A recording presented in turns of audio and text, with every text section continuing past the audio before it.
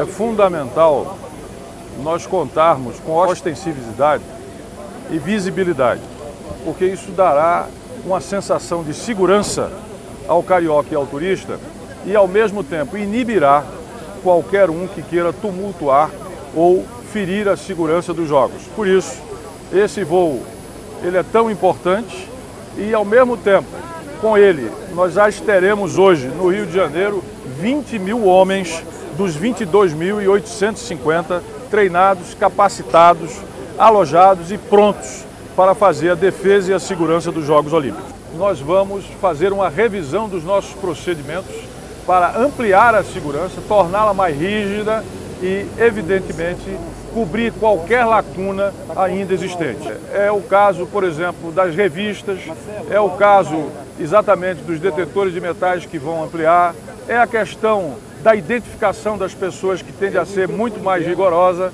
e outros procedimentos que estão sendo pensados para garantir exatamente a, a maior segurança e tranquilidade daqueles que estarão nas Olimpíadas. Nós temos uma divisão, nós temos as delegações de maior risco, de médio risco e de baixo risco.